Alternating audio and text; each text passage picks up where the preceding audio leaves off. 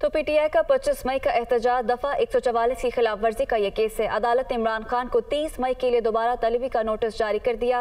इमरान खान की आज तलबी के लिए जारी समन की कानून के मुताबिक तामील न हो सकी, जबकि हाजिरी यकीनी बनाने के लिए इमरान खान को दोबारा समन जारी समात 30 मई तक मुलतवी कर दी गई है। मजीद जानिए हसीब मलिक से।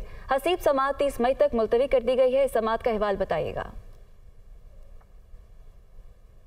जी, बिल्कुल, ये दफ़ा 144 की खिलाफ वर्जी के ख़िलाफ़ सबक वज़ी अजम इमरान खान के ख़िलाफ़ केस दर्ज था, जिसके ऊपर समात हुई और सिविल जज की अदालत में आज ये केस की समात हुई है। अदालत में आज अदालत ने तफ्तीशी अफसर जो थे, उनको तलब किया था और उनसे रिपोर्ट तलबी के हवाले से वो मांगी थी।